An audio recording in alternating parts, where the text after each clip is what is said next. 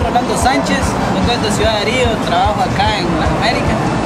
Eh, tengo de comer acá en el chanchito desde que se inauguró, prácticamente. Eh, y sí, la comida es rica, eh, lo bueno que hay variado, hay para, para el mejor platillo desde lo más rápido, para la, no tan rápido. Pues.